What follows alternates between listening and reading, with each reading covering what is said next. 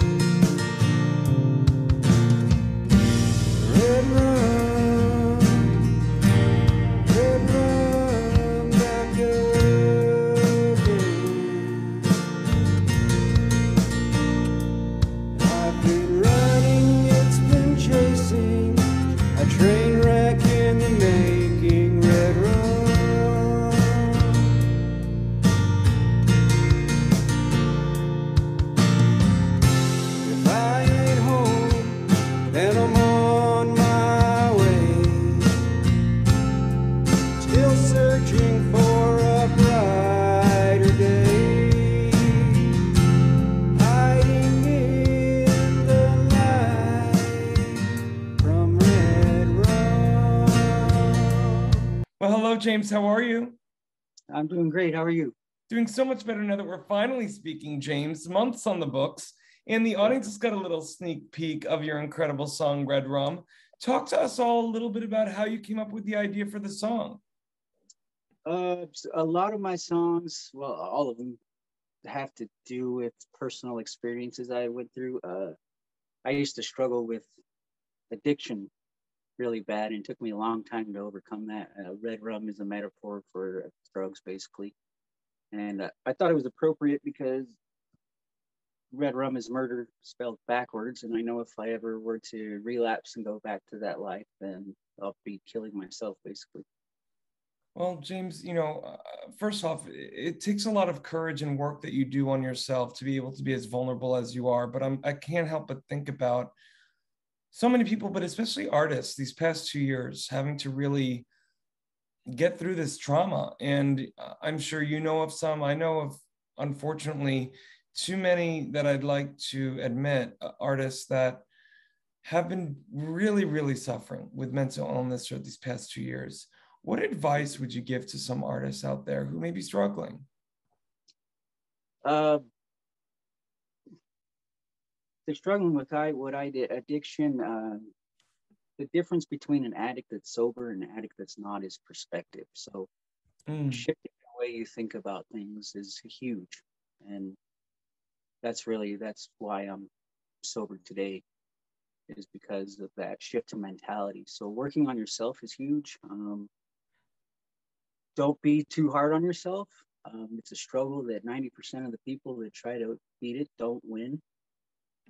So just just keep moving forward. Yeah, great advice.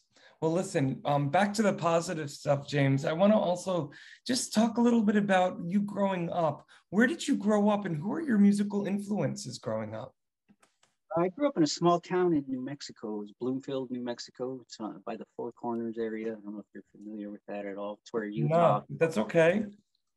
So uh, Four Corners is uh, New Mexico, Colorado, Arizona, and Utah, where they all meet at one point. Um, so I grew up around there. Uh, musical influences, uh, they kind of pretty wide range.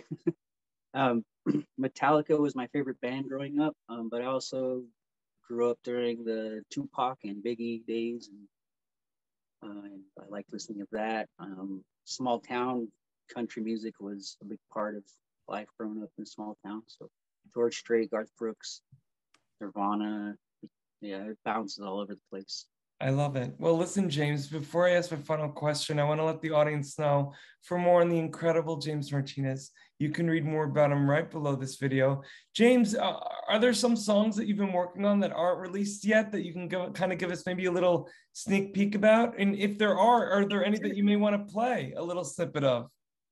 Uh, yeah, I got one that's uh, I'd have to look on my phone because I don't even have the chords memorized yet. But give me one second. no worries, my friend. And while you're looking up that, I want to also know, James, um, you know, what inspires you when you're looking to create songs? Is it everyday life? Is it the news? Is it thinking about family, friends? It's every so my music is my journal put to music, basically. Oh, beautifully said. Um, so I like to help people get through things that I've struggled with and got through. So that's my goal of my music is to basically help heal other people. It's incredible, incredible. Any inspiration What's... I can find for that, I'll use. Not everything gets released, but absolutely. And um, of the songs that you're working on, James, uh, what song are we going to be graced with a little snippet of today?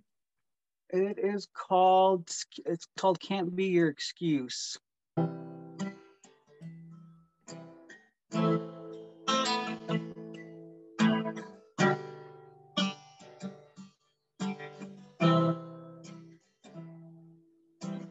I can't be your excuse anymore. Feels like that's all you think I'm good for. Did my best to love you, but love was not the cure. And I can't be your excuse anymore. You never believed me, but you had my whole heart. It's not just that it's broken, but completely fell apart. It burned up quicker than a book of matches. You say you still want my heart, but here's the ashes. You can use it for whatever you want it for, but I can't be your excuse anymore. Wow, beautiful. James Martinez, ladies and gentlemen. For more on James, you can read more about him right below this video. James, I'm so excited you're coming on board this incredible new social media platform, FENIX 360, but also I'm so grateful that we're now connected. And again, I want to just thank you so much for being vulnerable and also sharing your story with us today. I appreciate the offer and the time we had today. Thanks for inviting me.